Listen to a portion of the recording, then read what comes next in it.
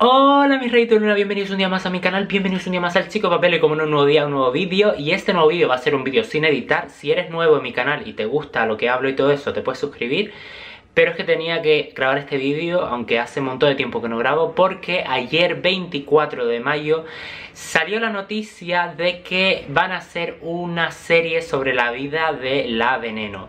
Y ustedes saben que yo soy súper fan de la Veneno, entonces como no tenía que hacer el vídeo sí o sí, porque fue una noticia que aparte que me pilló por sorpresa, me alegré muchísimo de, enterarme. Y sobre todo de la mano de quién van a hacer la, la serie, que son eh, los Avis, que yo soy súper fan de los proyectos de los Avis, creo que tenemos una cultura muy parecida, entonces estoy súper contento con la noticia. Eh, espero que esto no se desenfoque mucho porque no voy a estar mirándolo. Eh, nada, y en este vídeo les quiero hablar un poco sobre mi valoración personal y los retos que, a los que se enfrentan y también sobre la información que se ha dado sobre este nuevo proyecto. En principio, los Avis firmaron un contrato de confidencialidad eh, a principios de año con A3 Media y se sabía que iban a hacer varios proyectos con ellos. Se ve que la serie va a ser, no sé si el primer proyecto que vayan a sacar a la luz, pero eh, uno de esos proyectos que tienen entre manos los Avis con A3 Media. Eh, según decían los Avis en sus redes sociales, ha sido un proyecto que han luchado muchísimo por echarlo adelante.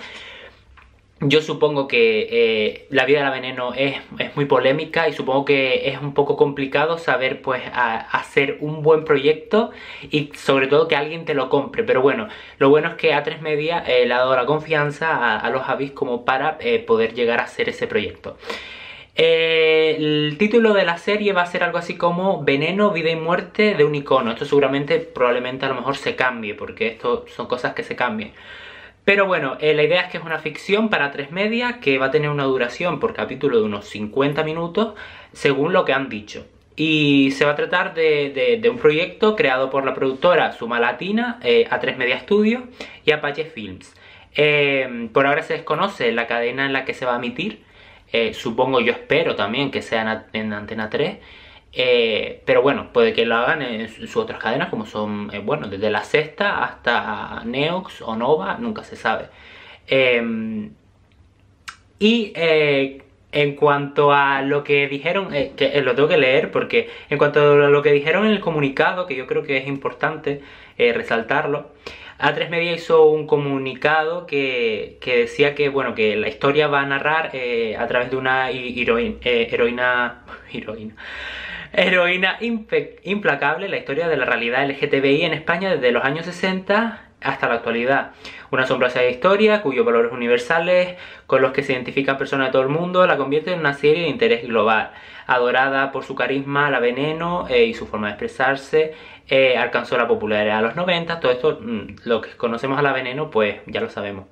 Eh, y como dijeron los avis un poco, bueno, voy a resumirlo todo la vida de la veneno ha sido muy intensa y por tanto si le pregunta por el género mm, del que va a ser eh, esta serie, dicen que va a ser pues una mezcla de varios géneros porque su vida va desde el drama hasta el humor o la comedia y, y es como, eh, la vida de la veneno es una tragedia, es un thriller, rosa casi el terror, pero ella nunca lo miró así, siempre se lo tomó con humor, valentía e imaginación, por eso la veneno es, una, es nuestra heroína. Porque aunque Veneno es la historia de una mujer transexual una época donde las personas transexuales estaban consideradas el último eslabón social, ella nunca se sintió una víctima. Bueno, da igual. Dicen que, fue una luchadora y que está más cerca de ser una Rocky que la chica danesa.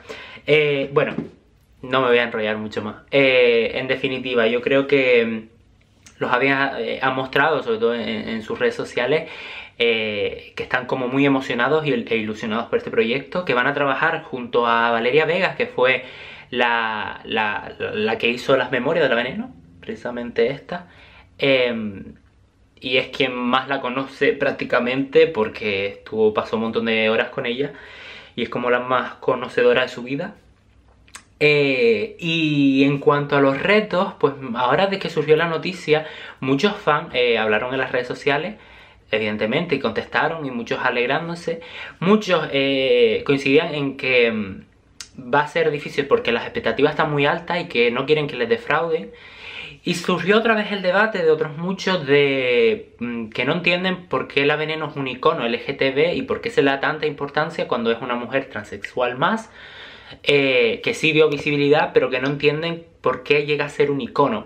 Yo lo intenté, se los intenté explicar, bueno, a un chico que por ejemplo lo puso en Twitter, eh, no sé si me llegó a entender, pero bueno, yo como le dije, cada uno tiene su opinión y yo no pretendo cambiar la opinión de nadie. Yo tengo claro que la Veneno para mí fue más que nada un gran personaje y una gran persona. Entonces, independientemente de eso, yo soy fan de ella por ello, eh, no por ser un icono de nada. Primero que nada, la Veneno nunca quiso ser icono de nada, ni ejemplo de nada. Ella simplemente se mostró de forma natural y yo creo que eh, se ha convertido en un icono después de todo porque como decía, era, es un poco la representación del carisma, de la naturalidad, de, la vida, de, lo duro que puede ser y sobre todo de, lo luchadora, sí, luchadora que era.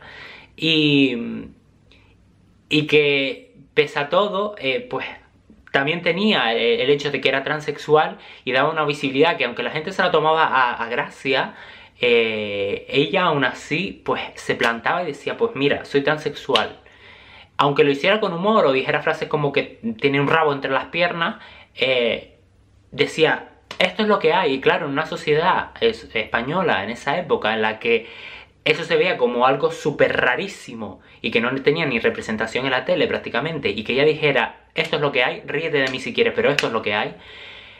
Coño, pues es algo como que mm, por lo menos choca y abre mentes a nuevas posibilidades y por lo menos como yo decía, aunque no fuera el mejor ejemplo en muchas eh, ocasiones, porque no lo era, eh, ella era humana y no quería ser ejemplo de nada al final.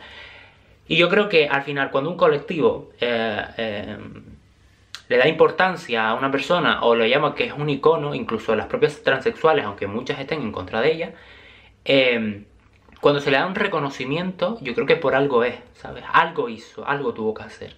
Entiendo que mm, hay figuras que hacen más por el colectivo y otras que hacen menos. Pero bueno, al fin y al cabo, cada uno es libre también de decir, para mí, si, es, si ese armario o esa estantería es un icono, pues para mí es un icono. ¿Quién eres tú para decirme lo que es un icono o no? No sé. Yo creo que esto es un debate largo.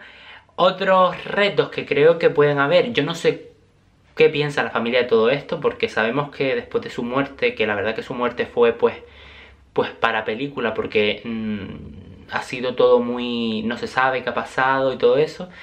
La familia creo que cogió los derechos de la obra, del libro de Valeria, creo entender. Eh, no sé qué va a pasar con la serie, no sé si va a haber algún conflicto o algo, yo espero que no y que esté todo bien atado por nosotros mismos también, por los fans, porque queremos que salga adelante. Eh, uno de los otros retos, aparte de la expectativa que dije antes, eh, y es lo que se está comentando en Twitter, es quién va a encarnar la figura de la veneno, quién va a ser la actriz o el actor que vaya a ser capaz de hacerlo. Porque se ha estado hablando que surge el debate otra vez de que si a una persona transexual eh, debe interpretarla un hombre, una mujer o una persona transexual. Yo creo que, al final, pues es como lo he dicho muchas veces, un acto de interpretación. A mí, mm, sobre todo, tiene que ser una persona que sea capaz de encarnar su, forma de ser, su naturalidad y, todo su ser, ya sea hombre o mujer. Pero bueno, esa es una tarea de ellos y espero que la hagan bastante bien. Bueno, me voy. Eh, aquí abajo qué les parece esta nueva noticia. Síganme en mis redes sociales. Dale me gusta al vídeo si les ha gustado. Y ya hablaré más adelante sobre más cositas y estas cosas. Les quiero mucho y te siempre por la vida.